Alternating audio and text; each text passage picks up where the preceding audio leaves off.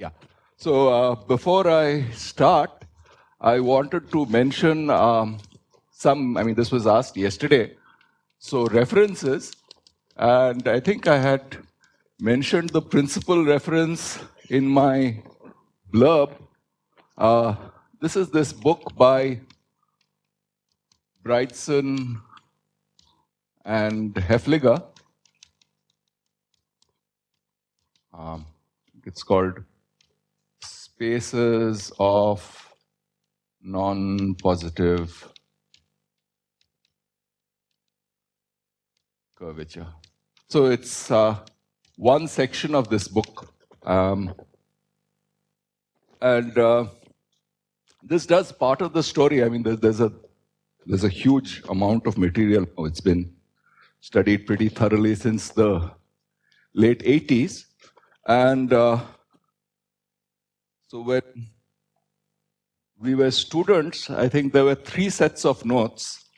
Uh, so yeah, so these are called, so there are three sets of notes. And uh, so the American notes appear, it, I think it's called Notes on Hyperbolicity. It's uh, um, A, B, C, etc. So these are names of authors. Uh, this is in this uh, collection called uh, Group Theory from a Geometrical Viewpoint, edited by uh, Verjovsky uh, and some others. This is, uh, I think, World Scientific. Uh, there are the Swiss notes. Um, this is by Ghys and, well, they're called the Swiss notes informally. De la Harpe. Uh, this is in French.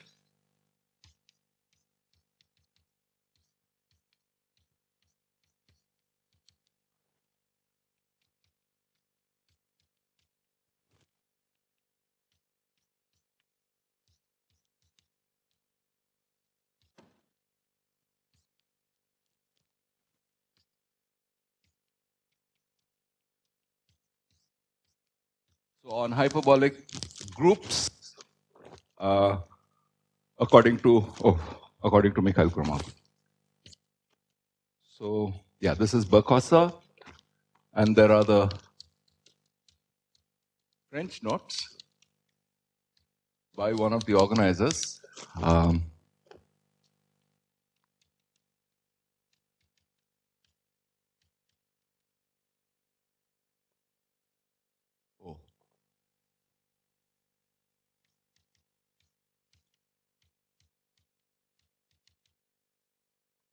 there's some there's some word here. What is the other word? Uh, geometry and something of groups.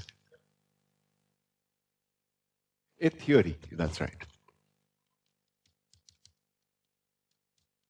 Okay, so this is by Coornaert, Delzant, and uh,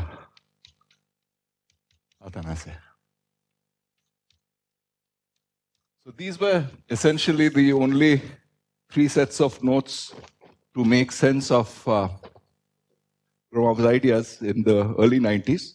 Now there's there's a lot more material and it's it's thoroughly developed. Uh, anyway, so so this is the the bunch of references. I have roughly been following the first one, yeah, because it does it in a pretty condensed form. Okay, uh, that's references done. References.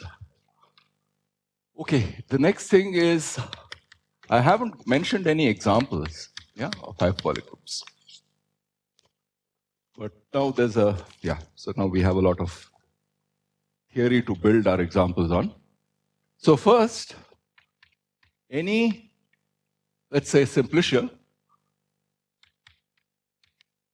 tree.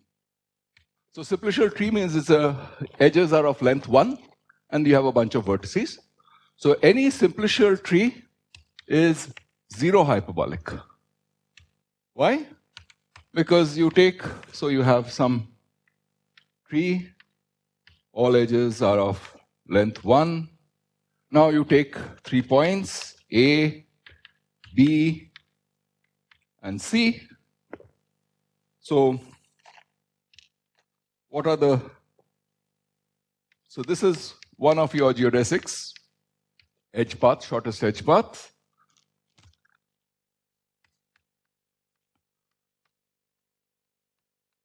This is another geodesic uh, between B and C, and this is the third guy. Yeah? So you, so this is your geodesic triangle in this tree. Yeah? You pick this out, and this is what it looks like. A, B, and C. So this is AC, BC, and AB. So AB is actually contained in the zero neighborhood of the union of the other two sides, right? So trees are zero hyperbolic. so, so this implies that Fn free group is hyperbolic. Why? Because the Cayley graph of Fn is so gamma Fn with the standard uh, generators A, A inverse, B, B inverse, so A1, A2, AN, A1 inverse, A, A2 inverse, AN inverse. This is a regular 2n adic tree. So this 2n adic means that every point has valency 2n, 2n edges. Yeah? So this is a tree, so it's zero hyperbolic. Uh, so in particular, because our, we've already shown that uh, hyperbolicity is independent of the finite generating set. So this is a hyperbolic group. Yeah. Second example, so yesterday uh, in Norbert's talk, you had this, uh, um, this is H2 with the Poincare metric that Harish has been talking about. And Norbert yesterday constructed an octagon, one, two, three, ah, so one more. And so you have this octagon which tiles your whole hyperbolic plane. So this gives rise to, uh, I mean, you, you look at a, you look at an octagon, and you have these opposite sides paired, and suppose that the internal angle, the total internal angle, is exactly equal to 2 pi.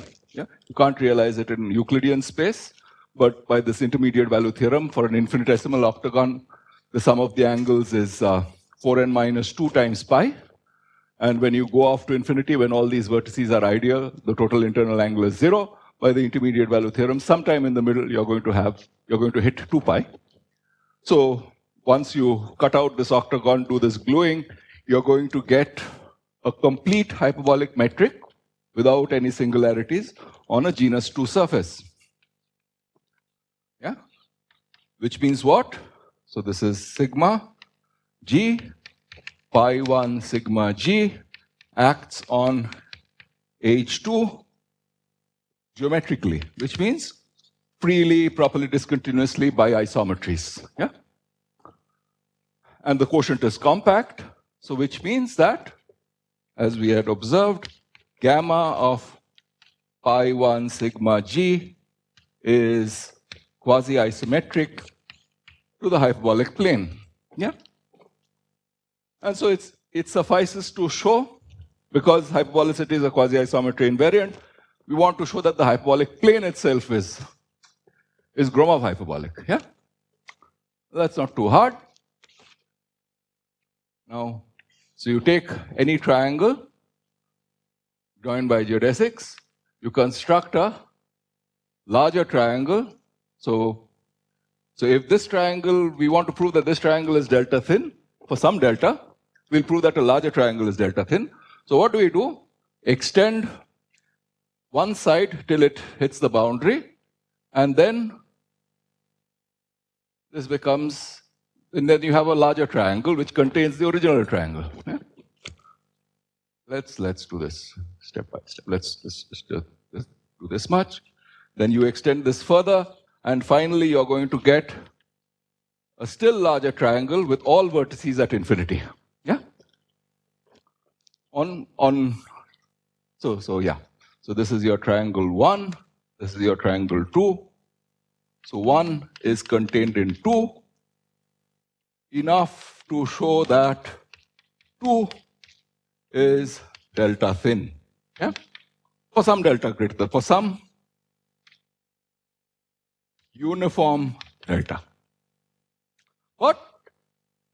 This is, these are three points on the circle and the Mobius group, uh, Z goes to AZ plus B by CZ plus D, ABCD real, acts triply transitively on the circle. So, so all these are called ideal triangles. I mean, these are called real triangles where vertices are inside the space. When the vertices have been pushed off to infinity, yeah, the angle here is zero.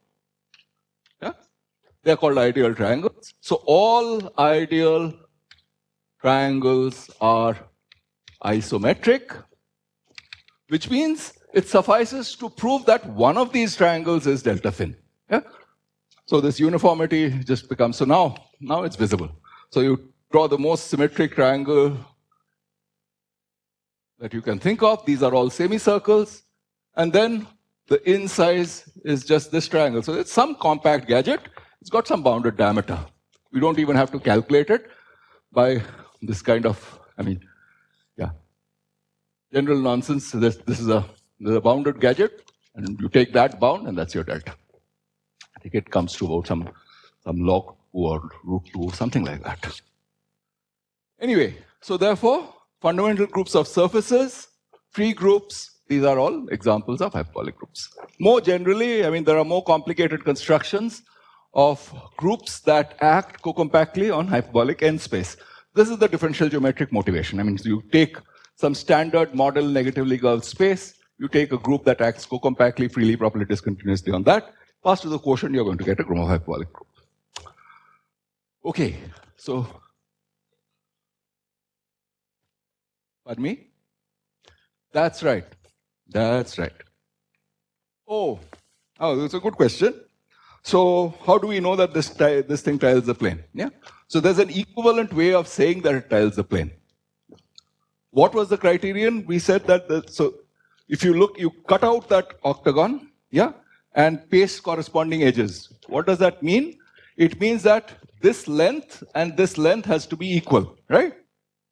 Yeah, and so on for all the pairs that are getting glued. The extra thing that you need is that the sum of the internal angles at that vertex is 2 pi to get a smooth metric at that point. Yeah, it should not be a singularity, it should not be a cone. Yeah? So now you have a smooth manifold, yeah, where curvature is a local construction, right? So uh, take a point, take a small disk around it, it's going to be isometric to a small disk in H2. Then you pass to the universal cover of this, of this surface. Yeah?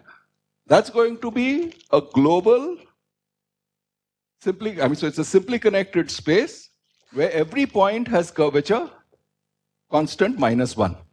Fact, any such space is isometric to H2. So you, but just by passing, so the universal cover of a compact gadget is necessarily tiled by the fundamental domain. So this is a fundamental domain, right? Yeah. So again, yeah, so sort of a, so therefore the H2 is tiled. Otherwise, also, if you want to look at it locally, there's a Poincare, uh, there's a work of Poincare. Basically, when you do this, there are going to be these octagons which will accumulate around it. Yeah? And the total angle around this is going to be the sum of the internal angles. Okay, so these are examples. Now we'll come to the topic of uh, main topic today, boundaries.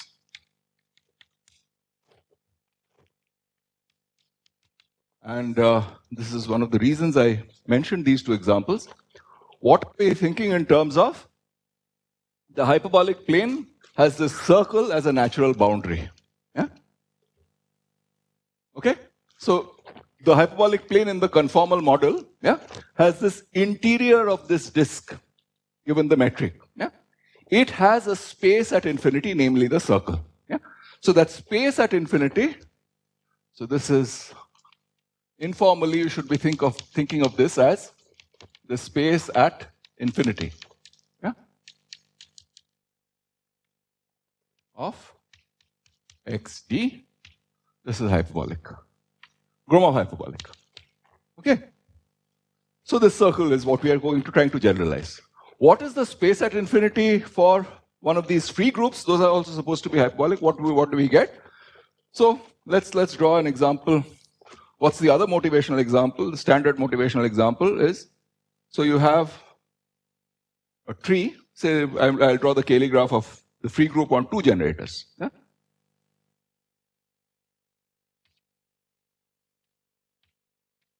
And this is going to go on. Yeah? Etc. It's not a coincidence that I'm having to, I'm being forced to draw the edges smaller and smaller. Yeah? So what is going on? Here this is A, this is A inverse, this is B, this is B inverse, right? So you have four symbols, A, A inverse, B, B inverse. What are what is the space at infinity? They are going to be given by infinite in one direction. So semi-infinite sequences of A's, B's, A inverses, and B inverses, so that A and A inverse don't follow each other. So reduced words. If A is followed by A inverse, you can just cancel it out, right? So basically, you're looking at sequences with these four symbols, and you're looking at infinite, infinite words in them with the restriction that A and A inverse, so 0 and 1 do not come one, uh, one after the other, 2 and 3 don't come one after the other. Yeah? So, reduce this to an even simpler case. You look at infinite sequences with zeros and ones, right? no, no other restrictions. And then you're going to get, yeah, so infinite sequences, right? Those are going to be what's at infinity. Any word in the space is actually a finite sequence. If you're going to take stuff which is at infinity, you have to take infinite sequences. So what is that set? Sequences with zeros and ones. Take a tree. What is this doing? Basically, you're taking a point. So I'm simplifying this still further. You can take a zero here or a one here, then a zero here or a one here, and a zero here or a one here. Zero, one, zero, one, zero, one, 0, 1. And then the standard mathematical ploy of drawing dots. Yeah? So what's going to, what's going to happen at infinity? What is that set? Will you get the interval 0, 1? Yes, think of this as binary expansion. Yes, that's correct. As a set, that's fine. But what does the, what does, I mean, if you look at it as uh, binary, yeah? Then 0, 0, 1, 1, 1, 1, 1, 1, 1, 1 followed. That should be the same as 0, 1, 0, 0, 0. Is that identification happening? So 0, 0, and then 1, 1, 1, 1, 1, 1. This goes off to infinity. Yeah? Is it the same thing as 0, 1, 0, 0, 0, 0? Those are going to be two geodesics, right? So there is no identification. So what is that space? This is a Cantor set. You just take the doubleton set containing 0 and 1, take a pro infinite product with a countable infinite product with itself. Yeah? That is the Cantor set. Yeah? So, essentially what is happening is that on the boundary, you have this Cantor set. So, for Fn, boundary of Fn, basically the boundary of the Cayley graph of Fn. This is the Cantor set. Okay? All right. So these are, so how are we, I mean, now we want to make this precise. How does it happen in general? So, as a set, boundary x, x is it's a hyperbolic space. As a set, this is equal to asymptote classes of geodesic rays starting at some some point yeah. So what does asymptote classes mean? So elements are so it's i o x. So these are infinite geodesic rays all starting at o. Yeah? modulo an equivalence where OX1 is equivalent to OX2 if OX1 and OX2 lie in a bounded neighborhood of each other. Yeah? That's what asymptote means. That's right. I'll come to that. Yeah. For the time being, I'm doing this. Yeah. This is just to, so a priori, this is chosen with a base point. So what Norbert is pointing out is that I don't even need that. All right. So this is as a set. Now, this is equivalent to asymptote classes of geodesics with no geodesic rays with no restriction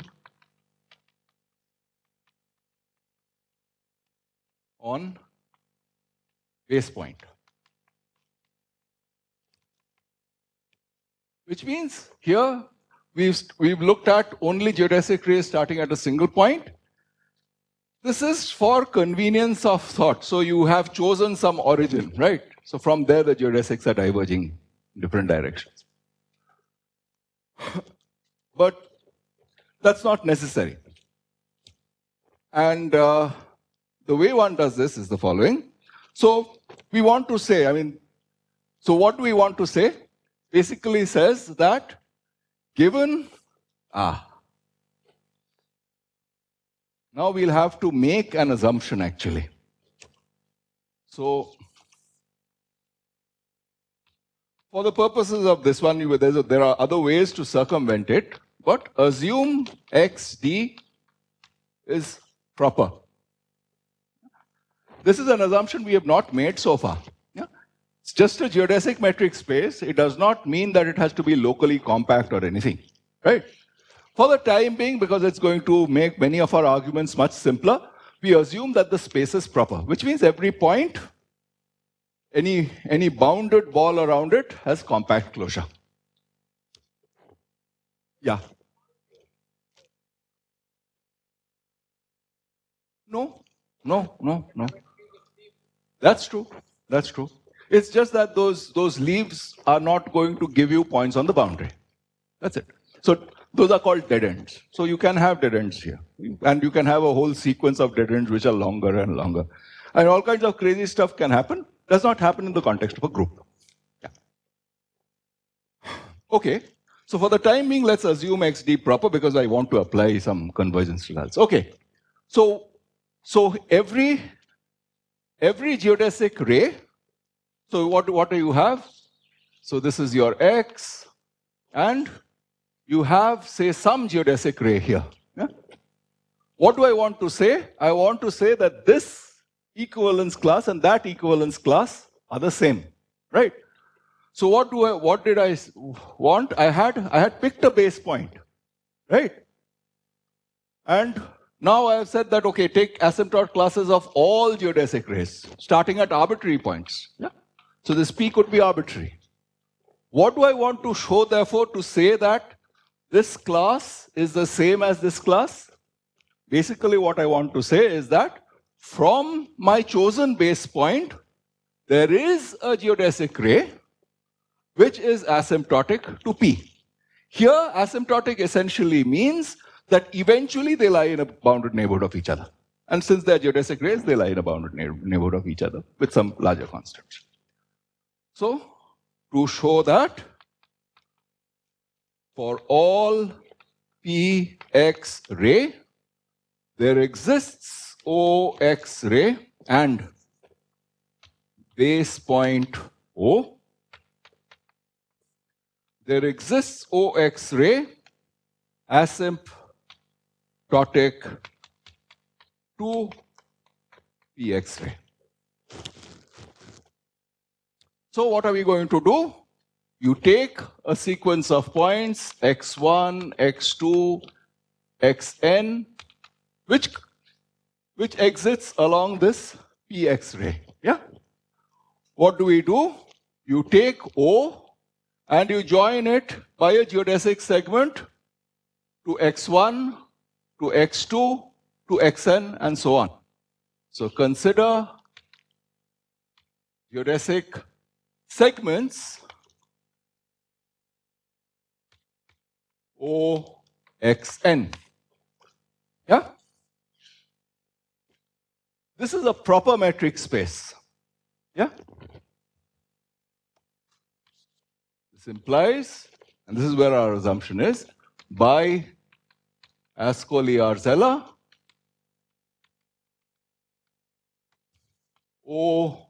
OXN segments, these converge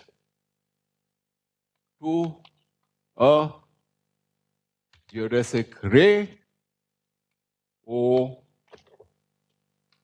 X.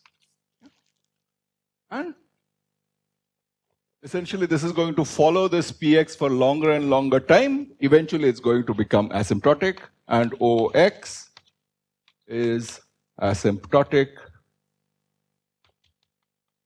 to px.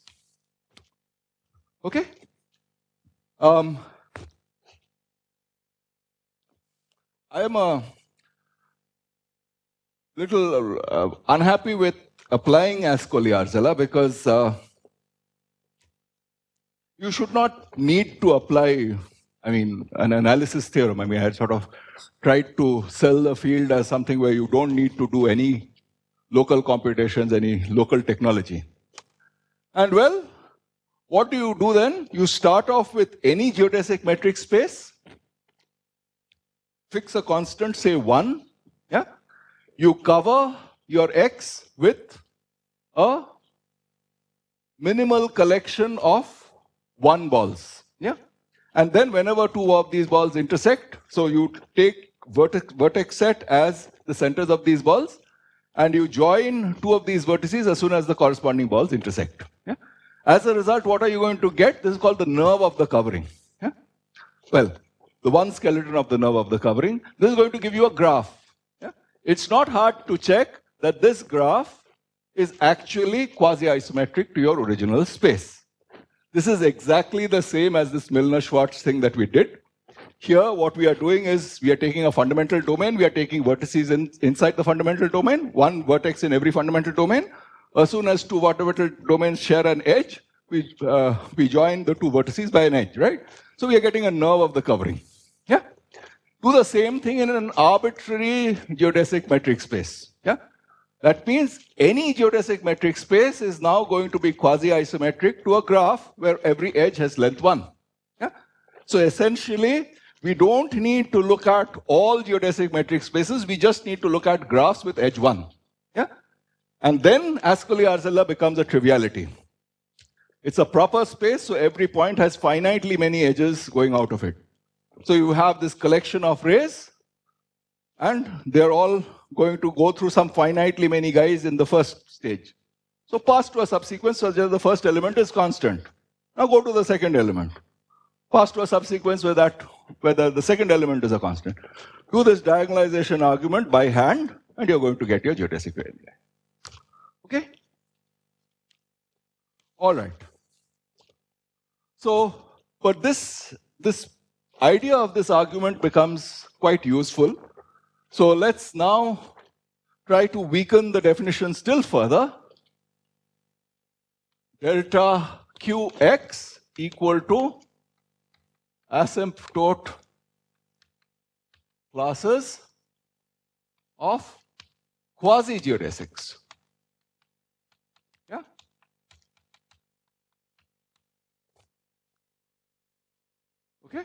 So instead of geodesics, you just you, you now look at quasi-geodesics. So this is apparently a still larger thing. But it's actually the same. Why? So again, run the same argument, and now, I mean, this base point is not an issue. So you have some quasi-geodesic going off, yeah? And uh, again, you take the sequence x1, x2, this exiting, and you join these by geodesic segments here, right? What happens is that this quasi-geodesic from here to here, again, by, so let's see, O, X, O, X, wiggle is a quasi-geodesic, OXN box. These are geodesics. This implies, again, by Ascoli-Arzelà or by diagonalization, OXN converges to some geodesic ray OX. Yeah? What? What do we have? We've already established that the quasi-geodesic lies in a bounded neighborhood of a geodesic for the geodesic segments, passing to the limit. This implies that OX wiggle is contained in epsilon neighborhood of OX geodesic ray. Yeah? So which means if you if you define asymptote classes of quasi-geodesics, you're going to get the same set. Yeah? So these are various notions there's a still, yeah. There's another way of defining uh, boundary as a set, which is even weaker. So you look at, so now, uh, so now we are going to look at just the vertices. See, essentially these edges that we have been drawing, yeah, this is basically because we are accustomed to thinking of geodesics as isometric embeddings of intervals in R. Yeah? But if we are coarse geometers, R and Z do not have any difference, right? So we might as well think of isometric embeddings of intervals in Z, right? Which means we can throw away all this flesh, meaning the one-dimensional skeleton, and then it's just a discrete metric space. Our geodesics are isometric embeddings of Z of, of, of subintervals of z, right? Just a sequence of points. Okay? That would be a geodesic in this context also. So we can actually just be dealing with discrete metric spaces where, where a geodesic is a sequence of points such that successive points are at distance one from each other. Yeah? The shortest thing there. So this uh, inter the yeah, I mean the the intervals it's it's generally for ease of drawing, but there's no essential feature in it. However, we'd like to have, therefore, where you don't have the luxury of having actual intervals, just in terms of sequences of points in the space, in terms of the zero skeleton, going still further down. Yeah? And uh, here's the thing. So look at sequences xn such that xn xm take the Gromov product at x0, the base point. This goes off to infinity as m n go to infinity. Yeah. This is essentially the same as saying the sequence of points is a sequence of points on a quasi-geodesic. Yeah. So if you have a quasi-geodesic, what happens? So you have xn here, you have xm here, x0 here, you have xn here, and xm here. Since they are both, I mean, since these are in the same quasi-geodesic, they're going to lie in a bounded neighborhood of a geodesic. This part is the part where they're going to coincide for a long time, essentially the essentially up to bounded amount of discrepancy, xn coming closer, that's, that's good enough. So this inner product is going to go off to infinity. So you look at sequences, these are your objects, and how do we, so basically we have replaced geodesics and quasi-geodesics by just sequences which satisfy this property. Yeah?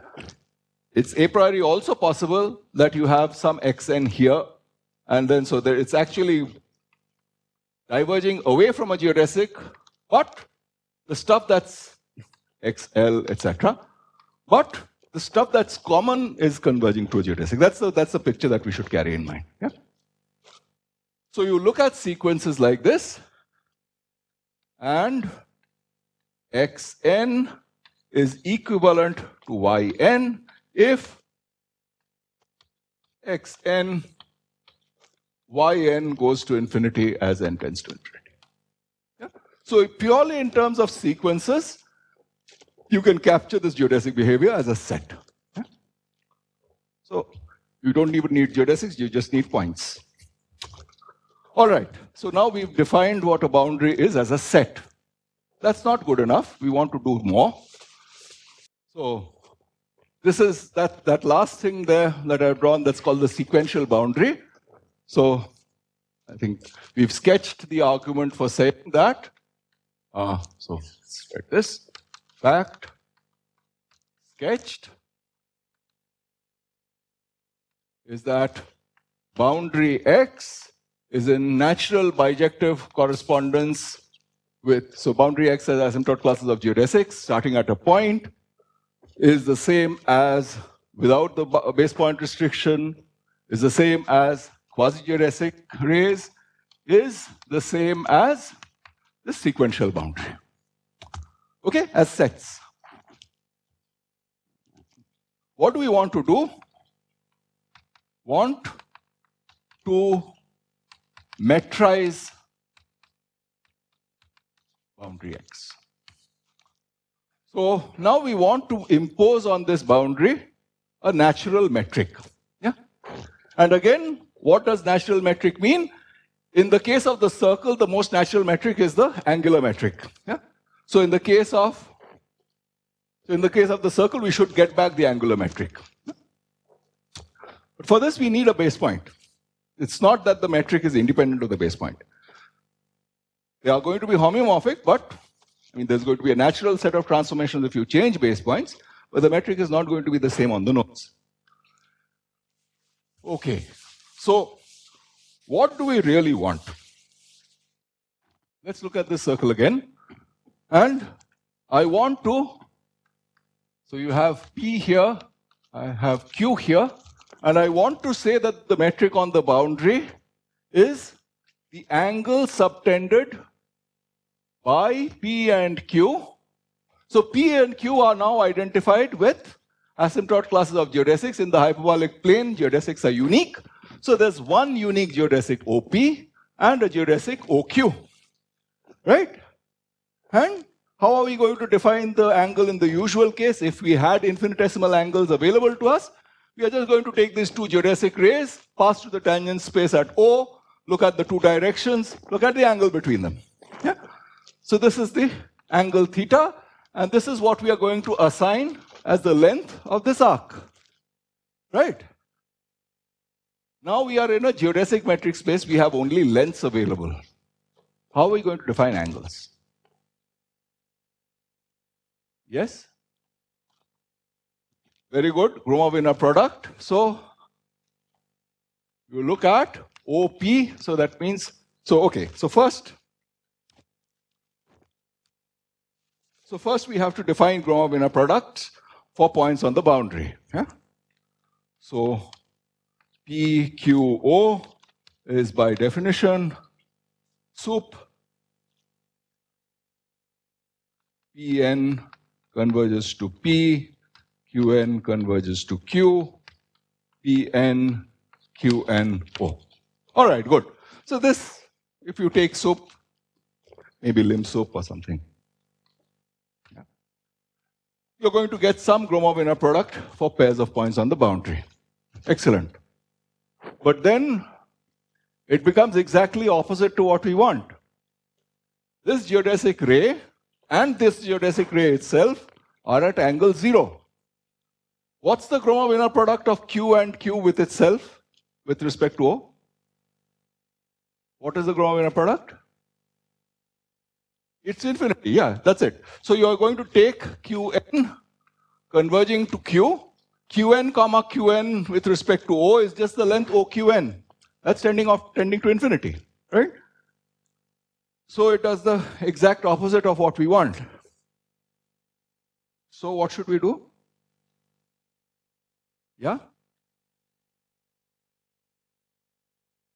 Yeah, yeah, go ahead. There's some standard tricks that we do when we are faced with this kind of situation. See, the thing is, it's it's badly behaved in exactly the opposite way. So we just have to invert it, right? So, so what do we do? We just look at. So define. This is not the metric so far. Just introduce this thing. So define theta pq e power minus, and we'll put, in some, put some factor epsilon for convenience, PQO. Yeah. So now it does exactly what we want. Yeah. If this goes off to infinity, then it's going to be e power minus epsilon, epsilon greater than zero. Yeah. And then this, this thing is going to become zero, and so on. Yeah. What does that really mean? in the picture, it means that you have O here, you have P here, you have Q here, and the Gromov inner product. See, the Gromov inner product is actually within a bounded amount of discrepancy another very natural object. From O, you take the nearest point, this is, say, Z, on PQ such that Z is the nearest point projection of O to PQ. Yeah? If these are your internal points, yeah? Fact. Okay, so this is a nice exercise. Exercise. This is I1, I2, I3. These are the internal points.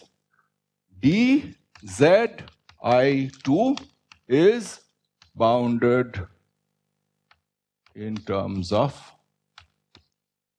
delta. Yeah? So instead of taking the Gromov inner product from here, if we just allow a little bit of flexibility, we can just look at the geodesic segment joining P and Q, look at the perpendicular distance from the origin. That's going to be essentially equivalent. Yeah? In the case of a tree, it's exactly the same. Right? So, what are we really wanting?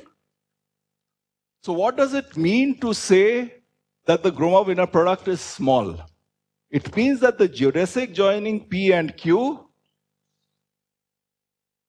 this is approximate R. So, this theta PQ, which is not yet a metric, we have to check triangle inequality. This theta PQ that we've defined so far, e power minus epsilon Gromov inner product, we haven't checked its a metric, right? That requires a little bit of work, but we are just trying to say geometrically what it means. So theta pq small is equivalent to saying distance between O and the geodesic PQ is large. Yeah, this is exactly what it means. Right? So if you had two points which were very close there, then this geodesic ray joining it to the origin, this would be very long. Okay? All right? All right. So now convert theta into a metric. And there's a general formalism. So general formalism. Basically, what happens is that the triangle inequality is a little bit of a sticky issue. Yeah? I won't go into what that technical point is. What we do is choo choose a sequence of points. It's called chains. P equal to p0 p1 pn equal to q. Yeah. Choose a sequence s yeah and define theta s pq equal to summation theta pi pi plus 1 over i. Yeah? So basically you're looking at, you're dividing, what you're doing really is, you're taking this arc, you're dividing it by smaller and smaller points, you're looking at the angle here, then adding all these angles together. Yeah? Once you've done this, the next step, this is for a particular seek for a particular chain. Now the metric should be clear. Now, define rho PQ to be the infimum over chains, chains S, theta S. Okay. And now it's okay for suitable epsilon. Epsilon depending on delta. This gives you actually a range, yeah, a range of values depending on delta. Rho is a metric on boundary X. Okay. Yeah, yeah. So these are yeah, so these are PIs. PI belonging to boundary X. We want to define stuff there, right? I mean, this theta is not defined for points in the interior. Can extend it, but See, does, see, angle in the interior does not really make sense because you can take stuff here and then wiggle around a little bit. Yeah? So locally, the angle can be very large, maybe at 180 degrees. It goes in the opposite direction and then comes back. It's a quasi-geodesic because if it goes in the opposite direction for, say, distance 1, but the angle becomes pi, you want it to be 0. So local computations make really no sense. It's only these large-scale computations that make sense. Okay, good. So this is this is in terms of the so this metrizes your boundary. We want to look at next theme, the relative problem and quasi-convexity.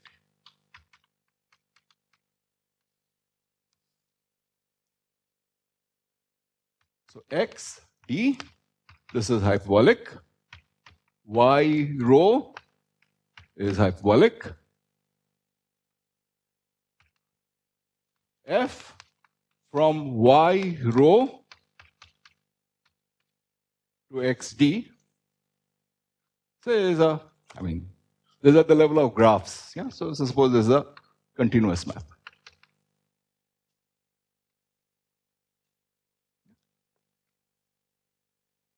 And see, this is establishing what the boundary is for an actual, for a, for a particular space. Yeah? When does f extend continuously to boundary f from boundary y to boundary x? So we need, we want a criterion, and we'll use this criterion to prove, uh, to say what the simplest kinds of sub-objects are. Yeah? So this is a relative problem.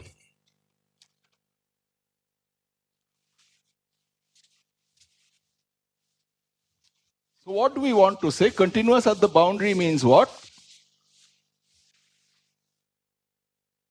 And here's the criterion.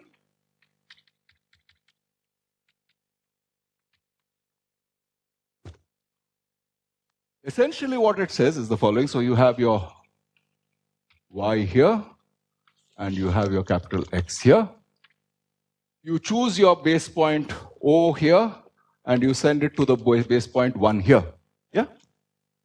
What do we want to say? We want to say that small diameter objects on the boundary go to small diameter objects in the boundary there. That's what continuity means. Right? So, but what do you have? You have a map. So this is f of y1, f of y2. Yeah? So, so what do you really want?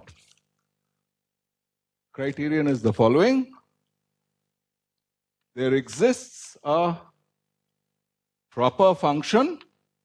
See, we are going to say that if the visual diameter, what, we, what is continuity? Equivalent formulation of continuity is that if the visual diameter, so this, this metric that we've drawn, we've constructed here for suitable epsilon, these metrics are called, so these metrics that we have, they are called visual metrics. Why? Because if you place your eye here, it's the angle subtended at the eye. So these, that's why these guys are called visual metrics. So what do we want? We want to in, ensure continuity. What we want is that things which have small visual diameter should go to objects of small visual diameter. That means what? That means the, the boundary is not being torn apart. Right? But small visual diameter means what? So suppose you have yi converging to y, y1i converging to this point, y2i converging to this point. Then you look at the geodesic segment joining y1 and y2. Since they are both converging to the same point, the visual diameter between them is going to zero, which means the same thing as saying that this perpendicular distance, the distance of that geodesic from your origin is going to infinity, correct? Now, you have this geodesic segment y1, y2 here. F, I have not said anything about F. You have this map F, just some continuous map. A priori, the geodesic joining F1 and F, F1, Y1 and FY2 could be anything. Yeah? These are just maps at points. Y1 goes to FY1, Y2 goes to FY2. The, geodesic, the path, the image of this geodesic Y1, Y2 could be some weird thing. Need not be a quasi-geodesic, need not, I mean, with any uniformity. Right? So what do we want? We want that if y1, y2 lies outside a large ball, then the geodesic segment joining fy1 to fy2, I don't care where fy1, y2 goes to. This is f of y1, y2 geodesic segment. Yeah? This is irrelevant. What is important is FY1, FY2, the geodesic segment. This is relevant. It's a highly non-commutative setup. Yeah? You can't take brackets and then map by F. You have to map F and then take brackets. Okay? So this guy is what is important. The fact is that quasi-isometric embeddings ensure a commutativity. Yeah? But if it's not, then you don't know. Yeah? You have some arbitrary map, f. So there exists a proper function, m of n going to infinity as n goes to infinity, such that what happens? Such that if d o y1, y2, geodesic. This is in the first metric. In rho is greater than equal to n. This implies this is distance in y. This implies the distance in x between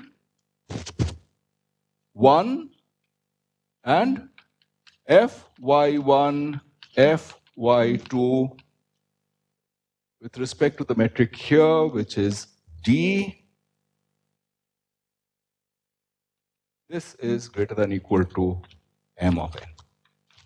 So basically it's saying that as pairs of points go off to infinity, yeah, that means the Gromov inner product is becoming large in the domain. The Gromov inner product in the range is also going to become large. That's all it requires.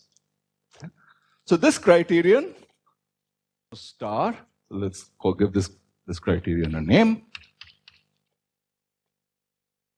So f extends to boundary f from boundary y to boundary x if and only if star holds. Yeah? This is just a reformulation. Yeah?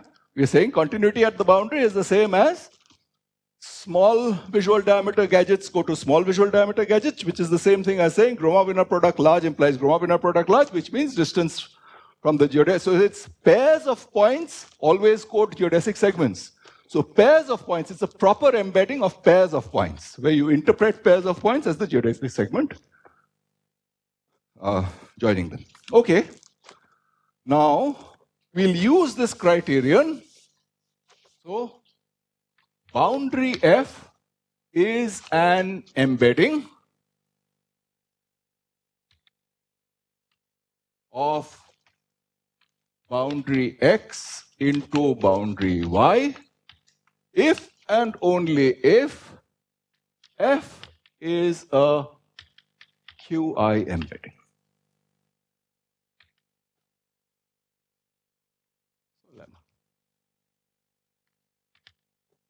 So essentially what we are trying to say that you have your map, nice proper map. Let's say just let's just assume that f is proper. If f is not proper, then you have stuff which is at infinite distance coming to within a bounded distance. So you can go off to the boundary and then the boundary point has nowhere to go to. It would like to land in the interior. Yeah? So assume assume without loss of generality, f is proper. If f is not proper, there's nothing to prove really. Yeah? There is no well-defined map at the boundary. Okay? So first thing is if f is a quasi-isometric embedding, yeah? This side is easy. So if f is a quasi-isometric embedding, then O, Z, geodesic ray in X goes under F to O Z quasi-geodesic in Y. So if F is a, this is a K epsilon QI embedding, this guy is a K epsilon quasi geodesic in Y. Correct? Therefore, implies defines, defines f of z belonging to boundary of, oops, I've exchanged x and y. This is y, this is x. Yeah, defines, so it gives you a well-defined map. Yeah, if you have a geodesic ray in the domain, you map it over by a quasi-isometry, you're going to get a quasi-geodesic in the range. And a quasi-geodesic, we've already observed that boundary x and boundary q of x are the same. Boundary y and boundary q of y are the same, right? This is a quasi-geodesic, so it gives you a well-defined point. So what we have, as soon as you have f, a quasi-isometric embedding, you have a well-defined set map. Yeah, Just at the level of sets, you have a well-defined map from the boundary of y to the boundary of x. Yeah. What do we want to prove? We want to prove that this is an embedding which means we want to prove it's, yeah, we want to prove that it's continuous and we want to prove that it's injective. So, what do we have? You have x, y, and you take this geodesic between them, and you look at this perpendicular. This is O, this is in y, this is an x, this is 1, This is f of x, this is f of y, and this guy goes to a quasi-geodesic here. Straighten it about by a geodesic, and then look, look at this. So, if you, because these are all quasi-geodesics, if this length is L, and this length is greater than equal to L by K minus epsilon.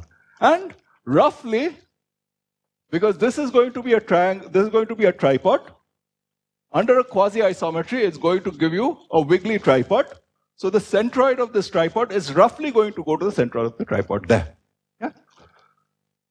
So if distance between x, y, geodesic O in y is greater than equal to n, this implies that distance in capital X between fx, fy, geodesic, and 1 is going to be greater than equal to capital O of n by k plus epsilon z. So, which is capital O of n. Yeah. I'm not evaluating the exact constants. So if you have a geodesic here, if you have a geodesic tripod here, you're going to get a wiggly geodesic tripod here. This you can straighten out to be a, another geodesic tripod. So this limb, if, if initial limb was long, then this limb is also going to be long. You're using crucially that this guy is a quasi-geodesic. Okay? So this proves the easy direction that if you have a quasi-isometric embedding, then the uh, resulting gadget is, uh, um, is continuous.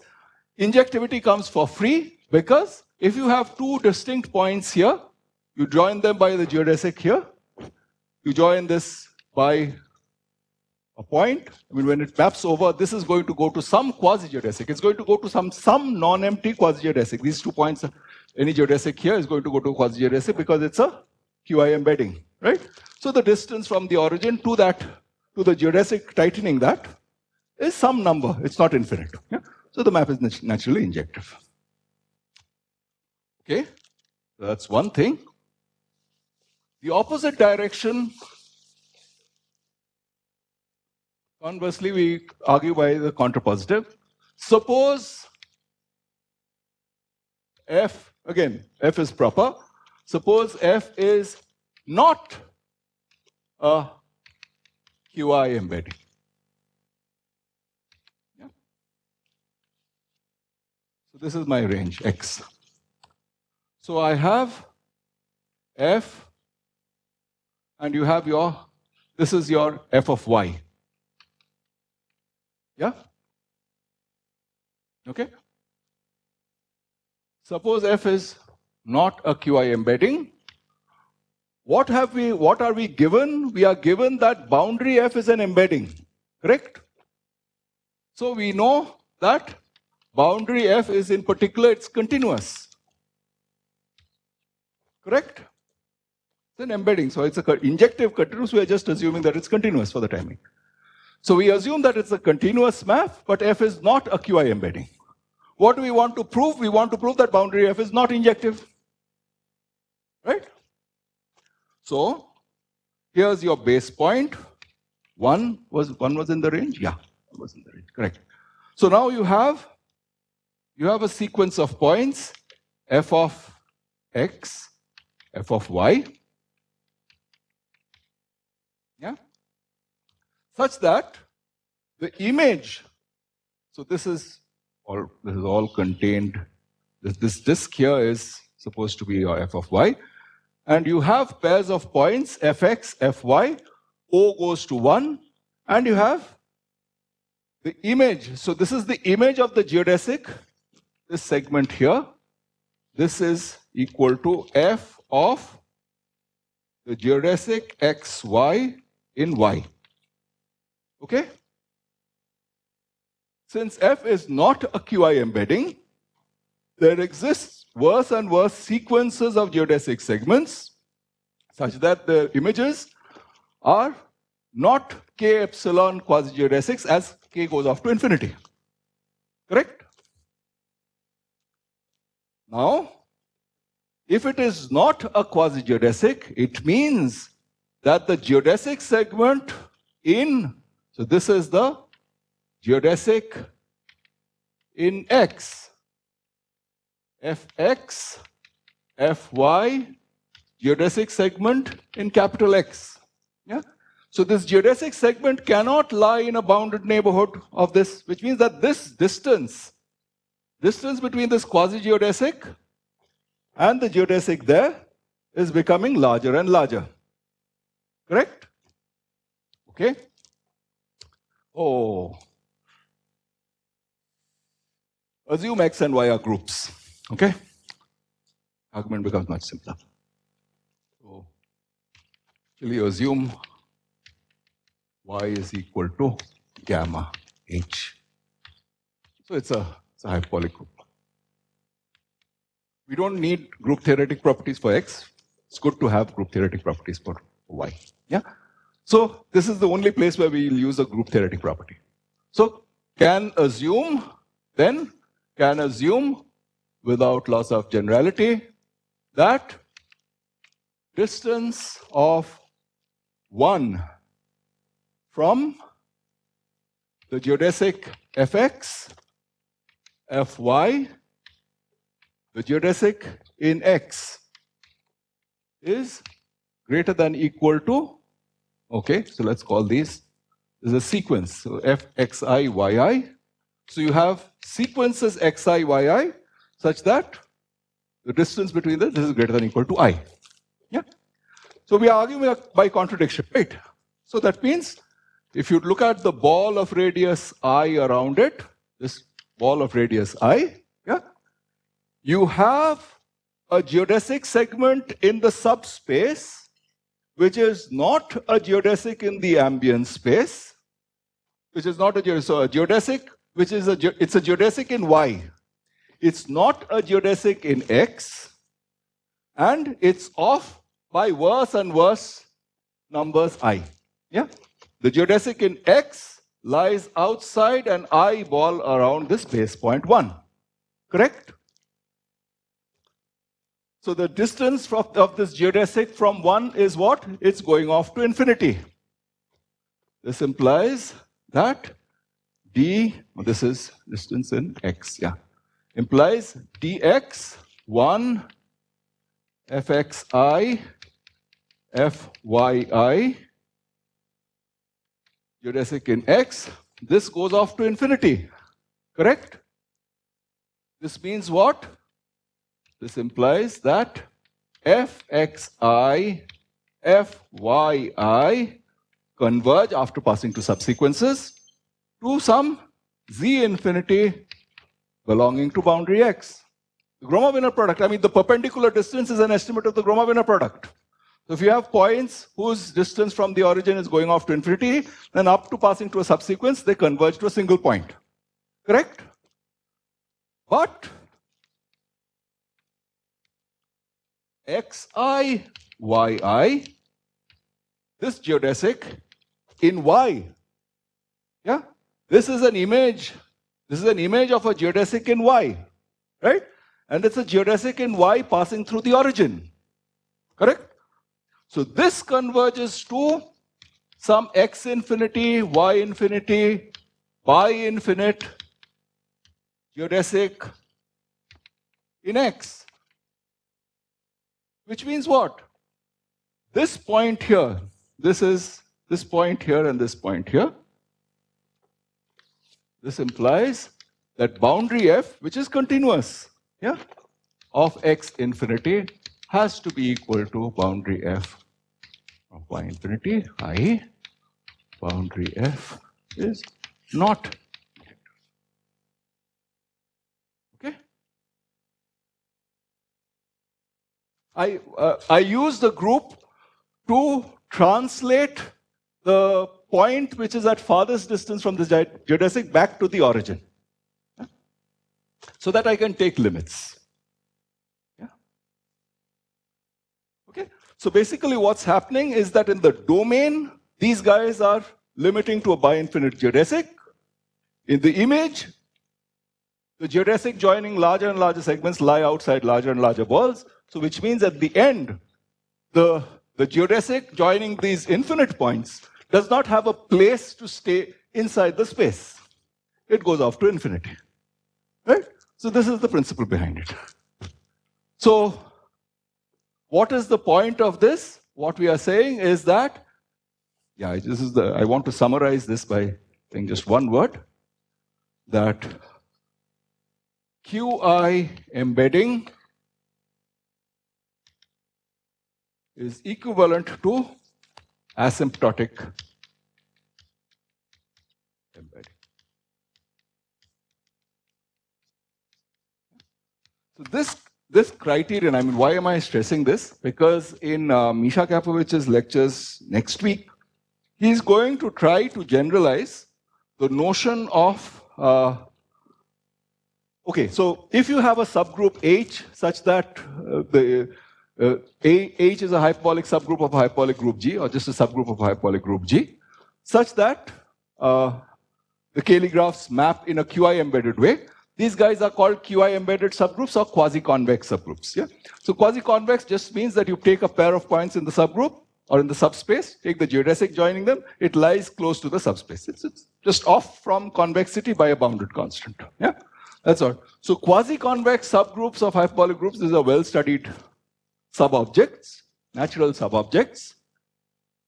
Quasi-convexity there is equivalent to this asymptotic. So you can read it off at infinity. That's what this says. By just topological embedding at infinity. You don't need other criteria. This is going to be generalized to, say, higher rank symmetric spaces. So for, for example, you look at SLN yeah? n greater than 2, quotient out by SON, then there's a certain natural metric on that space, on the space of symmetric positive definite matrices, scaled by some numbers. A natural metric. There, the metric is only non-positive. It's greater than equal, it's uh, less than equal to zero, not strictly less than zero. Yeah? But we'd still like to have a theory of these guys. Yeah? So one other place where this is going to come up is during uh, Kenichi Ohshika's talks. Yeah? So he is going to talk about surface groups acting on hyperbolic three space. There's one class of examples would be where this orbit map yeah, is a QI embedding. So there, it's the same thing as saying that the boundary, so the boundary of the surface group is a circle. The boundary of hyperbolic three space is a two sphere. Yeah?